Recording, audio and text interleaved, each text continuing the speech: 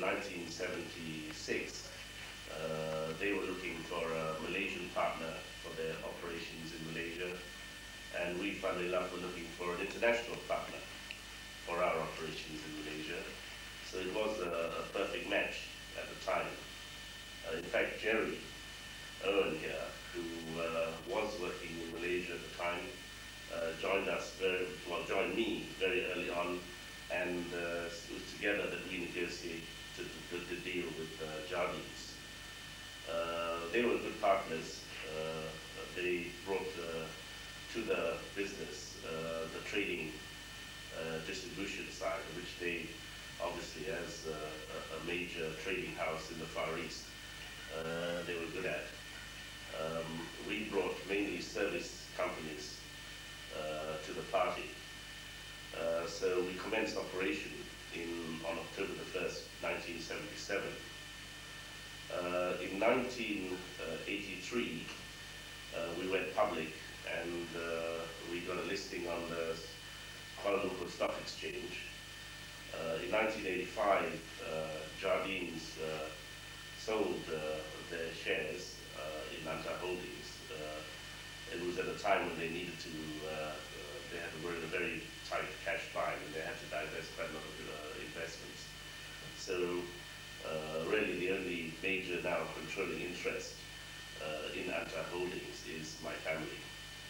Um, the businesses that uh, we've invested in uh, over the years, since 1977 to, to now, uh, really can be uh, divided into five or six divisions. The first one is, and the biggest, is financial services. we the biggest company in our group is the Arab Malaysian Merchant Bank, which is Malaysia's biggest uh, merchant bank. And we have a 20% interest in that, uh, together with the Tokai Bank, which is uh, Japanese, uh, the sixth largest uh, bank in Japan, uh, and other Malaysian shareholders. we have, in financial services, we have companies which I'm, I'm, sure you're familiar with in insurance it's Commercial Union. Uh, Commercial Union Malaysia. When I, when I say these names, by the way, they, are, they really are the Malaysian companies of this uh, uh, of these companies. So Commercial Union is our partner uh, in, in, Malaysia. It's the Sedgwick Group, which was originally Sedgwick Forbes, but now uh, calls us Sedgwick Insurance Broking. Uh, we have a, a, joint venture with the world's largest leasing company, is uh, Orix Leasing of Japan, and in Malaysia we call ourselves United Orix Leasing. Uh, and we also have uh, the oldest uh, Lloyd's uh, agency in, in Malaysia, which we call Sandlands Claims and Settlements. so basically those are the, the companies in financial services. Then we have general services, and uh, the, one of the main companies in general services is uh, Securicor. I think you've all heard of uh, Securicor. We're a very well-known company here. In Malaysia, they do the same sort of thing, industrial security, uh, parcel services, etc. Uh, we have uh, advertising agencies, uh, Leo Burnett and Ray.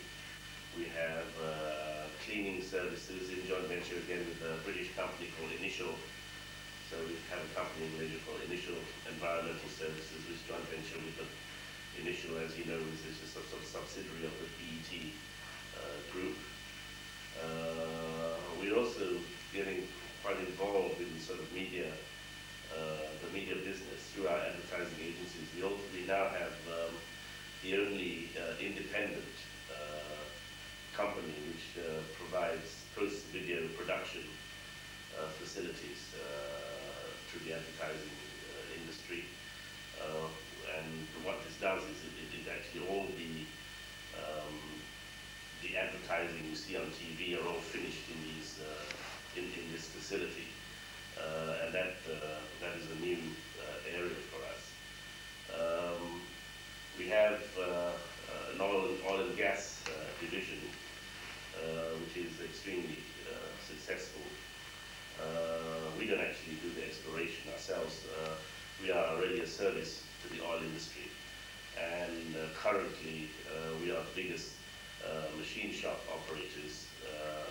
Far East. Machine shop uh, being um, repairing uh, the, the, the line pipe, the, the pipeline of all these uh, oil and gas uh, um, uh, pipelines which, which uh, Shell, Esso, and all these other big companies have out there, uh, which is a great growth industry out in the Far East. Uh, we have uh, two, we own two oil rigs. Uh, both, one is a development rig, and the other one is uh, what they call a workover rig, which is a maintenance rig, which again uh, is on contract to the uh, the contractors Esso uh, and Shell uh, in Malaysia. Um, we have uh, a number of trading uh, companies and distribution companies which uh, the which were originally uh, introduced to the to the group by and they still continue uh, to do extremely well. Uh, they uh, they include a company called Antasri Radin, which is the, uh, the biggest uh, medical supply company in the country, in Malaysia. We have a company called Chi and Company, which is dental equipment supplies. Antas Sanderlands, which is sort of general, general products, anything from Kenwood, Kenwood mixers to Hille chairs to Dylon dyes. Uh, uh, we do all those type of products and distribute in Malaysia. We're the, we have a joint venture with the Mitsubishi Electric Corporation of Japan uh, to distribute their products, their household products, mainly color televisions, VCRs, fridges, air conditioners, etc. Now, you know, the mobile telephone, which is caught on in Malaysia. Uh, and then we have uh, something that's probably more relevant uh, to you, or which, which, which may have some relevance, is that we have the franchise, we're the licensees in Malaysia of uh, 7-Eleven uh, chain stores, or 7-Eleven convenience stores. Um, it's quite new in Britain, I know, and it's, by the way, in Britain it's owned 75% by Jardine Matheson, as a coincidence, and, and, and 25% by Southland, who the original uh, franchise holders. But in Malaysia, it's wholly owned uh, by ourselves. Uh, we have 60 uh, stores uh, operating in the Kuala Lumpur area. And you know, there are a lot of similarities between the 7-Eleven operation and, of course, the one that Brian you know, the free cook shop operation. We are the bottlers for uh, Pepsi Cola, 7-Up, and Mirinda uh, in Malaysia. Um, the, uh, the brand uh, Pepsi is about uh, 40% of the cola market. Uh, 7-Up is about 70% of the lemon lime market, so it's quite big business. We have uh, three plant, bottling plants uh, in the country, one in the north, one in the central, one in the south. Um, and we in Malaysia see uh, uh, really uh, quite an interesting um, development in the food and uh, beverage industry. Uh, we have, uh, commencing November the 1st, established with uh, Inchcape, which is uh, one of the major companies operating in the Far East, uh, uh, a company called Eastern Buying Services. And this is, we're very excited company, and I think it's a company, again, that may well assist uh, Complete Cookshop. Uh, this company is really a buying operation uh, for Southeast Asia, and we will be sourcing um, uh, product uh, in the Malaysian and Southeast Asian markets from the manufacturers for export to anywhere in the world. Uh, as you know, um, the quality of production uh, in the Far East has improved considerably over the, the last uh, 20 years, really. I think uh, you remember the early days. Uh, you know, it was a joke, uh, all the products coming out of uh, the Far East, you know, it, out of Hong Kong, everything, you know, was stamped Empire made or whatever. If you remember those days, and they were very, very poor quality and poor imitation of, of, of, of products manufactured here. But I think what's happened now is the products, you know, uh, that are Taiwan, Hong Kong, Thailand, Malaysia, Singapore, are really of very, very high quality. And uh, the designers uh, are also um, uh, extremely uh, good. And I think that uh, possibly many of your products which you sell today in your shops are probably sourced out of uh, the Far East. So uh, with Eastern uh, buying services, uh, we hope to be at least of some service uh, to you here. Um, there are many other sort of companies in the group, and we're constantly looking for new investments. We have, uh, for instance, two um, manufacturing uh, operations, which are about three actually, which, are, which should all commence. Uh, two will commence by the end of this year, and one more next year. We will be uh, manufacturing uh, wall tiles, wall and floor tiles for the Malaysian market and for export, uh, furniture uh, for the Malaysian market and for export, and also um, we will be uh, manufacturing candy bars with a Trinidadian company which will open next year.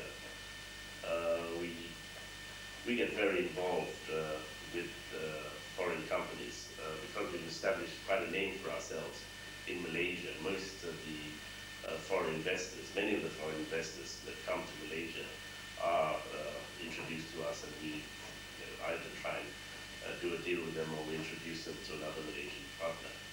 Uh, I get very involved with uh, the foreign uh, community in Malaysia. I'm vice chairman, for instance, of the British Malaysia Industry Trade Association. Um, and also I'm on the Malaysia-German Business Council uh, and also the Malaysian-Japanese Economic Association. So, uh, you know, we, we get very involved. My brother, who's my chairman, is also the chairman uh, of the Malaysia-French uh, Association. So I suppose we, between us, we cover a lot of foreign investors and foreign businessmen in Malaysia.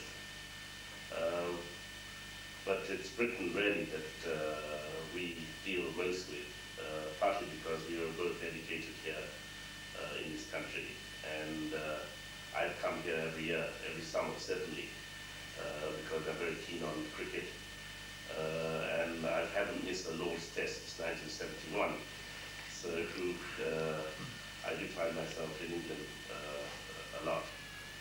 On um, on our investment in UK, um, we've we've decided in Antah Holdings that okay, we may be big in Malaysia and we may be very successful in Malaysia, but as a as a public company which is still family sort of controlled, we felt that we really needed to um, start looking overseas uh, to invest.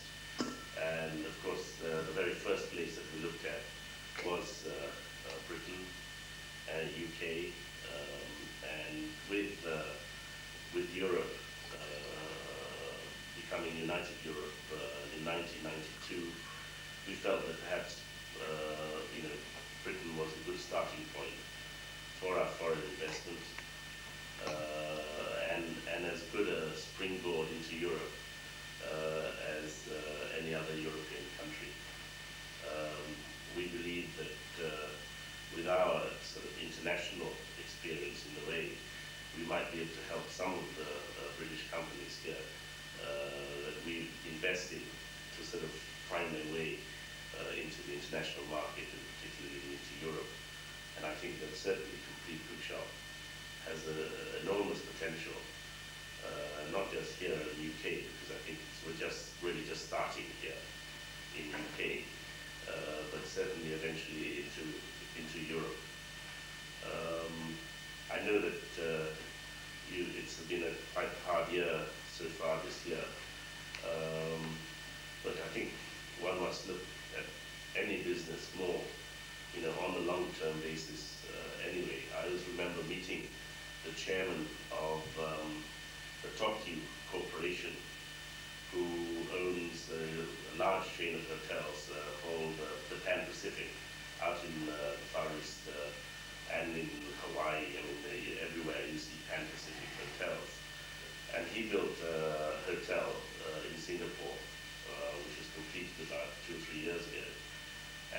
was asked by someone, says, why do you build a hotel uh, in Singapore in the middle of a recession? I mean, things are so bad in Singapore. In Singapore, you know, the economy was really poor three or four years ago. Uh, that, uh, you know, you're not going to make money. And he said, look, I look at this business as a 20-year cycle, 20 to 24, 25-year uh, cycle anyway. And within that period, there's going to be two or three recessions in Singapore. So really, it doesn't matter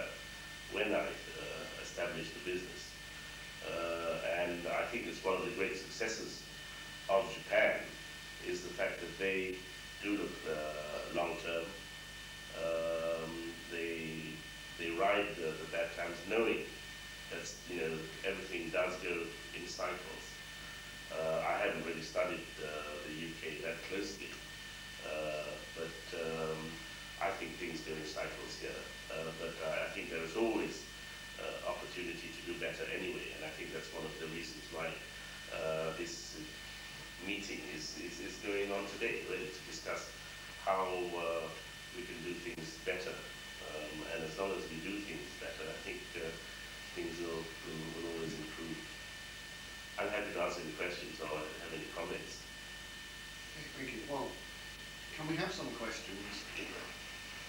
Do you have any, other, do you have any other British ventures planned or in?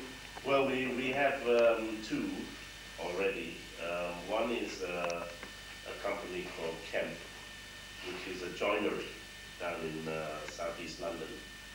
Um, Jerry is also on the board of that um, we, uh, you know, we make uh, staircases uh, for the um, the house uh, builders, you know, the Wimpeys, the Laings, the McAlpines. Uh, small sort of niche business, relatively successful. we have another company which we're about to sign up with all the DL uh, products, and they really are uh, uh, they package um, uh, small things which are needed on the garage forecourt. Anything from um, nuts and bolts to small spanners, etc. And also um, sourcing a lot of their products out of uh, the Far East uh, and selling it here at, at very reasonable margins.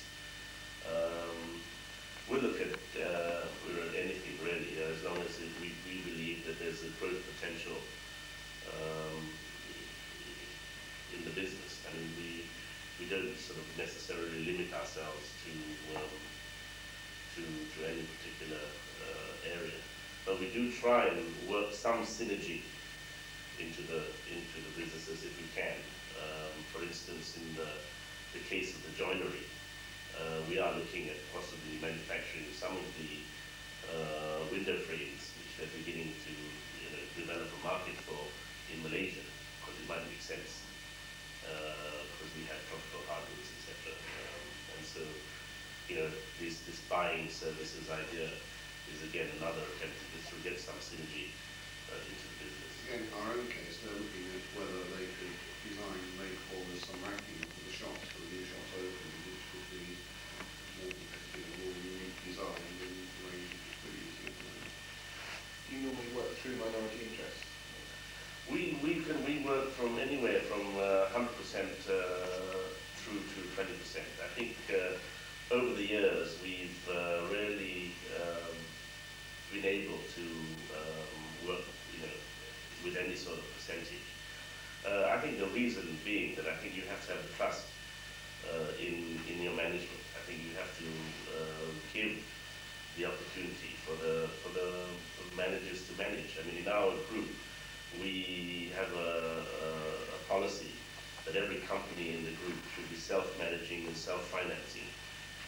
And uh, what we provide is really the business development assistance uh, and, and of course, uh, you know, directional uh, policy if, if required. But otherwise, day-to-day management has got to be with the management. I think, you know, we don't want to, you know, put put our own. I mean, for instance, I, I, I, I would not like to tell commercial union how to run their business or Securicor how to run uh, their business or Brian how to run his business. So uh, you know, that's our, that, that's our uh, philosophy, and, and it's worked for us um, uh, 99% of the time. And one can't say that one's perfect all the time.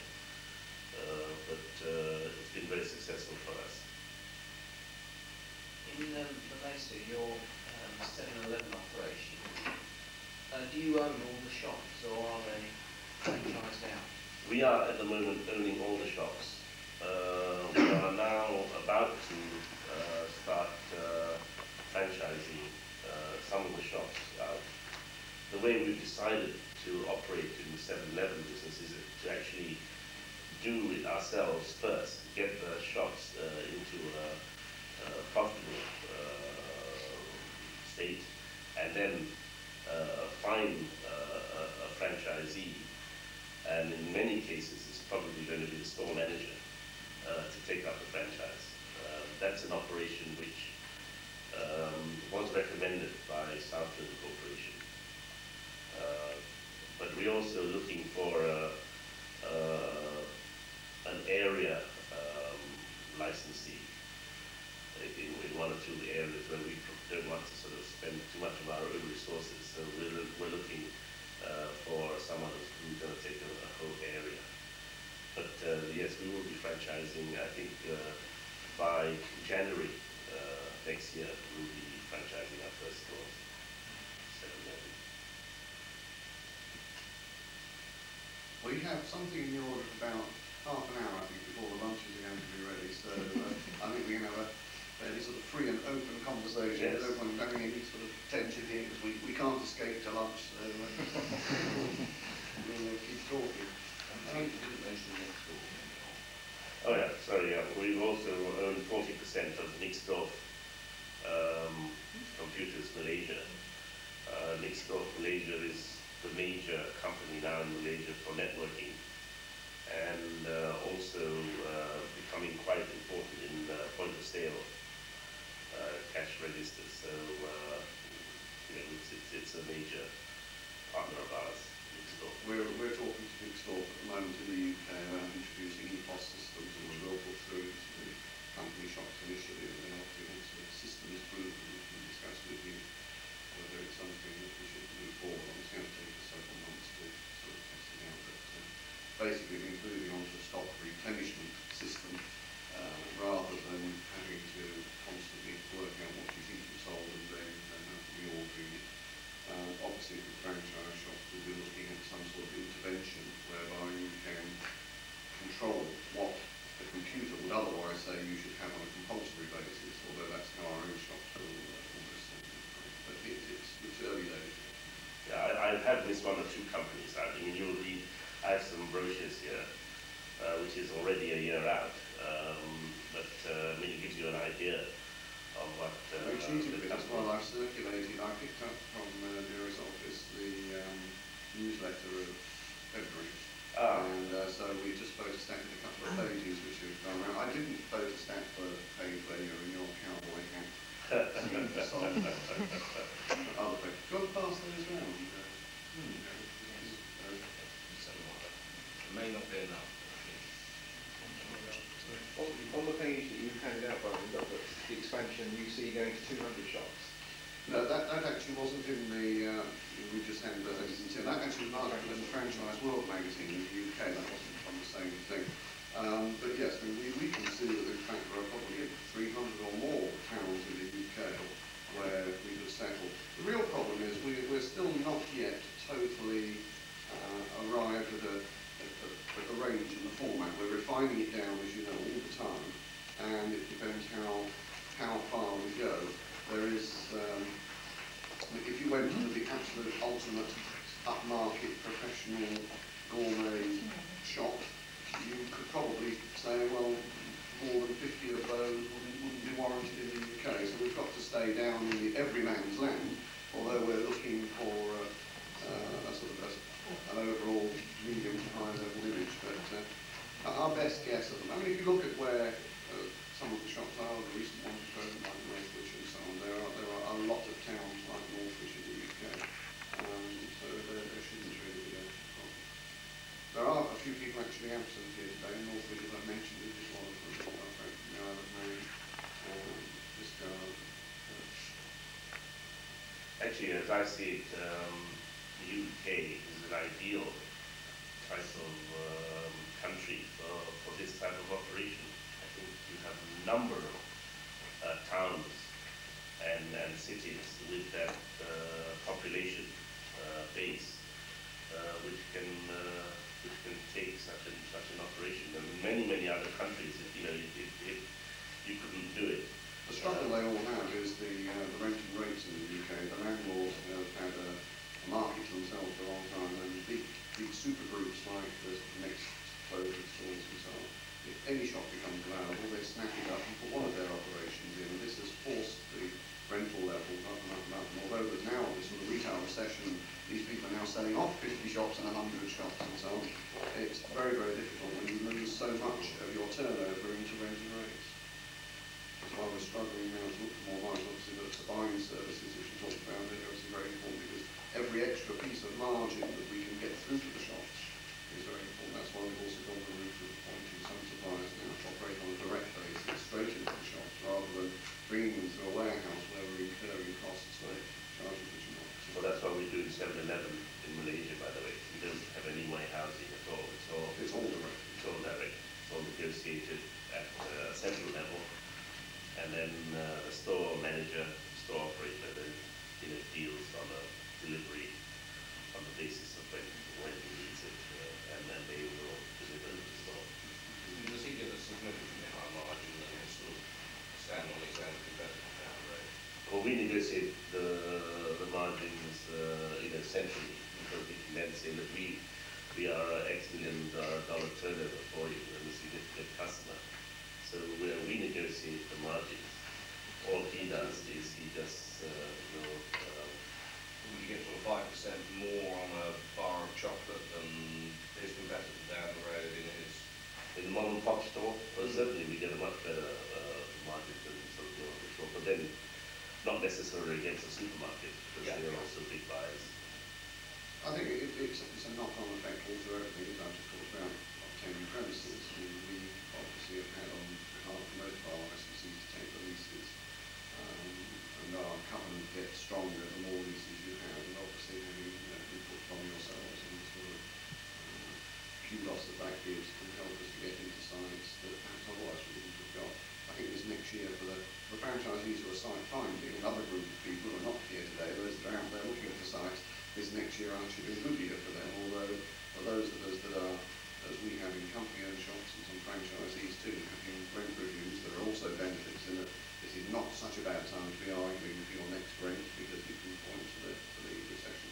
As said earlier, I think we have to look at five and uh, ten-year spans, and, uh, but it's, it's, it's disappointing when you've opened, as some of the people here have in February and March of this year, and immediately gone into the storm and uh, or what's proven to be a very, very difficult uh, trading. There's only one gentleman here, as far as I know, that's actually been to Malaysia, and that's Richard at the other end there. Um, you were over in Malaysia just a few weeks ago, weren't you? Yes, in June, yes. It's uh, On holiday, on holiday, yes. where did you go? Uh, well, we're, we're a week in Penang, uh, and we had a day in Kuala Lumpur. Um, It is one of our um, latest investments, uh, again, which I missed out, uh, is a 50% share of uh, the Cherating Holiday Villa, which is a, a, a, holiday resort uh, hotel on the east coast of the peninsula, right next near to the Club Med, within, within um, you know, uh, a mile uh, of uh, the Club Med on a, on a very beautiful beach. Are you taking bookings today? So, uh, well, well, I think, uh, I think we'll be able, we'll be very happy to, uh, to offer the discounts to our, uh, members of the family, as it were. Do you have any interest in any airline? Can we get, can we get some, some bulk package with Yeah, I'm afraid, uh, reduced seats and then the hotel thrown in on top? Now we're going to give him the box at Lord's next summer. It's not box, maybe. What is the population of Malaysia? Malaysia is 16 uh, million. And how is that sort of spread? What's the population of Kuala Lumpur, for example? Well, uh, let's, let's say, uh, you have 16 million, and about uh, one and a half million of that is in Sabah and Sarawak, which is across in Borneo, that's about 600, 800 miles away, uh, across the South China Sea. Uh, the rest is on the peninsula, of which in the KL area, um, KL being a bit like Washington DC, you know, it's just a little federal territory, 94 square miles, but really, when you talk of KL, you talk about Kuala Lumpur and the satellite town of Tamanjaya and uh, the one, the, the area surrounding it, which is actually outside of KL. Uh, there's about two and a half million people population in that area, and then the rest is really spread out amongst the different uh, states, of which the other towns that are the, the, the big towns are Penang, Georgetown, uh, Ipoh, which is uh, the state of Perak, and Johor Bahru, which is uh, really right next door to Singapore. That's across the border. And what's the political structure? I mean, how is the country run? Well, uh, we have nine royal families from uh, nine of the states have uh, sultans, which my father was uh, is, is, is currently one. And every five years, uh, the, the the nine rulers elect a new um, a new king. Uh, the new king has just has just been uh, installed uh, from Perak. Uh, he's the ninth king, so every state now In fact, my grandfather was the very first king. At independence in 1957, he became the first uh, first king. The uh, that's the that's a constitutional uh, position, okay, like the has. It's a constitutional monarchy. Uh, you have then the Parliament, Westminster style, uh, and on, on the, which we call the federal parliament. Uh, and this is mirrored at state level. So each state has a state assembly, uh, a bit like uh, Australia. Uh, and, and so each state has its own premier, or state, Menteri Besar, chief minister. So like Australia, you have, uh, you know, the premiers of each state has its own premier. But the prime minister of the country is from the party with the largest majority, just like here. Um, but the, the way politics uh, is, uh, is structured in Malaysia is that the, the ruling party is really a coalition of parties. Uh, and the three main ones being uh, on racial lines. You know, so the, the biggest party uh, and the most powerful is the UMNO, United Malay National Organization. That's the Malay party. Then you have the MCA, which is the Malaysian Chinese Association. And then you have the MIC, which is the Malaysian Indian Congress. As you know, we're a multiracial country. We have approximately uh, 50% is Malay, about 35% uh, Chinese, in nearly 40% Chinese, and then 10% are Indians and other races. So that's how the the country uh, racially is divided. And the same uh, party has been in power since 1957. Is it proportional representation? It uh, first past post? It's, just- it's just like Westminster, it's first past state level, you know, it's, it's mirrored at the state level. So we've had the same party in power since 1957. I mean, uh, really very stable politically. That's why, you know, the economy has, uh, uh, you know, has managed to grow. Policies haven't really changed uh, that much. Uh, you know, we don't get this, this system where, you know, someone with completely different ideology gets in. Uh, a bit like here, you know, conservatives get in and then the Labour get in, you know, they change all the, all the, the policies uh, because when they go to election, they have to, to say those things and, and to, take, to, take, to take the opposite, uh, the opposite uh, route. If we have any any more interest rate rises, I think there is a good change. And I hope a change of government.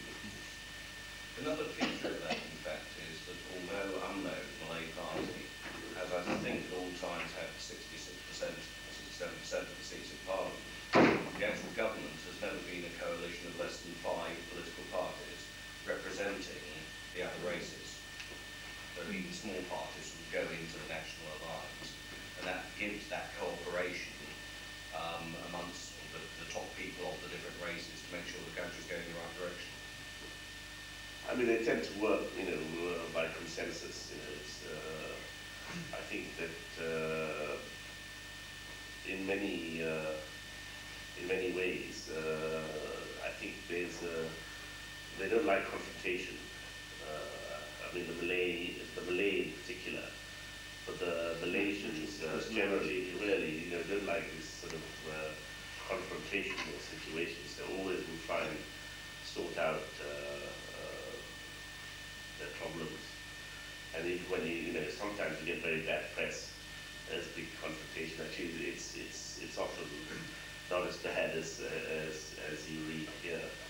I mean, I see people are saying that there's great sort of political problems in Malaysia last year, uh, but that's really it's a party problem. I mean, uh, there was uh, one of the um, Malay leaders know felt that he wanted to pass, so he challenged the prime minister. He had a very he came very close to, uh, to, succeeding. But even if he had succeeded, I don't think the policies would have, cha- would have changed. It's just the personalities really that uh, would have changed. Within this sort of multiracial and multi-party system, what about the, the role of the royal family? Are they a very integral part of it, or is it something rather separate?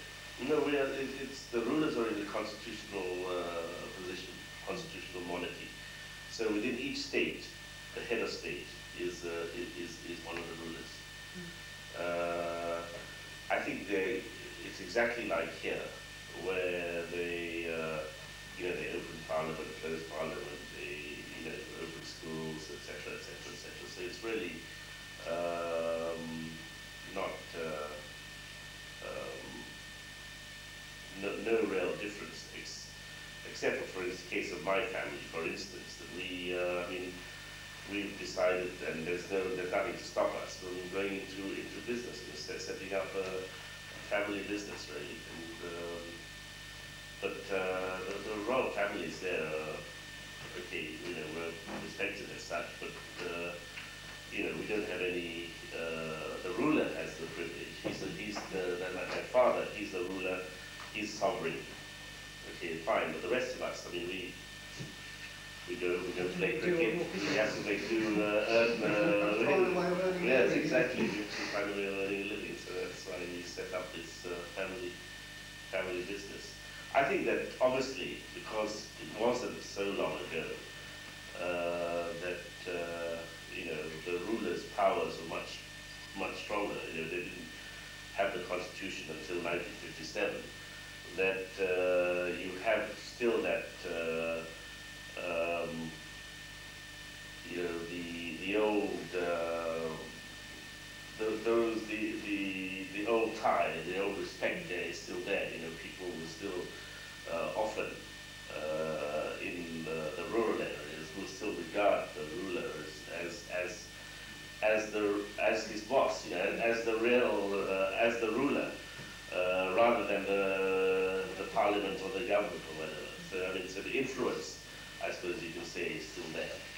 Uh, but uh, in terms of uh, the constitution, it is, is very much a constitutional uh, position. With dealing with all these businesses all over the world, can you speak all the, all the languages? No, I speak English, I speak Malay, not very well. Uh, I speak a little bit of German, I speak a little bit of French. But I think England, English has become the international language. I mean, when we just deal with the Japanese or the French or the German, it's still all in English.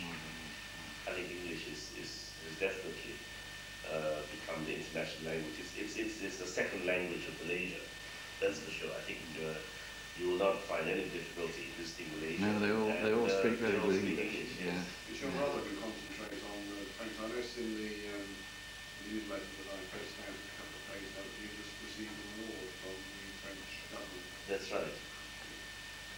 Yes. I hope I get an award from the British government.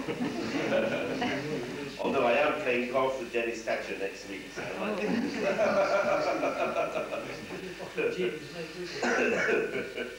Yeah, as you know, the, uh, the Queen uh, begins a state visit of Malaysia on uh, Saturday.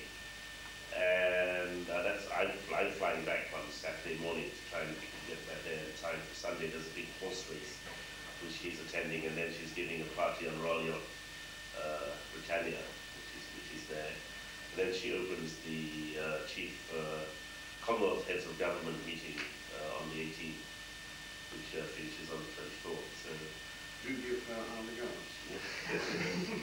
well, she's very popular, uh, the, the Queen, uh, still in, uh, in Malaysia.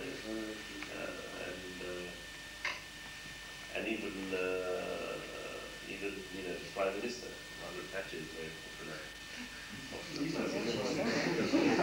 Listen, You want to? Some, some borrowers, there seems to be confusion now which one is the. Like I said, there is still very, very strong links between um, Malaysia and Britain because of, you know, going back to the years perhaps either before or after we were having these wars. I think your um, judicial system is very um, British oriented. Oh yes, it's common law. It's it, it's one of the reasons why we actually still get a lot of foreign investment because they. Uh, you know, American British companies, they, they know that, you know, if there's any uh, problems and, you know, they need to go to court, they know the system is, is such in place that uh, they understand the system. Uh, you go to Thailand and Indonesia, it's all by, you know, decree, you know, presidential decrees or whatever it is, and the system, you know, is not quite uh, the same. Uh, You studied law? I did law in Nottingham University, I did an LLB, and then I was at Gray's Inn, I was called to the bar but never practiced, thank God. You used to travel from Nottingham to the bar in London. Oh, to have my dinners, yes. It's a good excuse to get out of Nottingham. Have you travelled widely in the last parts of the I do, uh, I, yeah, well, I, I know a lot, of, uh, I played, uh, You know all of that. Old um, Trafford, uh, Trent Bridge. Yeah, well, in fact, we brought in a cricket team uh, here in uh, July. It's club side. So we started off in uh, Manchester area in Cheshire, and then we came down to London. We played in Canterbury. We played in uh, East Horsley. We played in uh, Bray and Maidenhead. We played in Birmingham. you- You're playing yourself. Yes, yes, I was, uh, I was manager and captain. First opening, I could, I batted between number one and number eleven, depending on the bowling. when it looked like there was some sort of big, tall West Indian, I'd sort of put myself low down in the order. When, uh, when it looked, the bowling looked a bit innocuous, I, I would open the batting, and then uh, and field first slip. So. You're keen on tennis as well, I mean, you play. played on the tennis. I, squash was my game, really. I was national squash champion. I know I didn't look it. That was 50 pounds ago. Uh, national squash champion in 1973. Uh, and uh, I'm now the, oh, I'm president of the Squash Rackets Association of Malaysia. And now, just last Friday, I was elected the president of the International Squash No, Jeremy's our squash. Federation. So, uh, and we just held the World Championships uh, in, in Kuala Lumpur, which finished last, uh, last Saturday. Well, I won't ask you all to go through your sporting. I think we should probably see whether we can actually do that. Right? Shall we wander through and um, we can have a wandering conversation in the drinking our hands and listening to. Okay, thanks very much for coming right, and doing. It's been a long way for you to, to come. I think everyone's pleased to sort of no, see your face. I, yeah. Okay, let's go on. Thank you.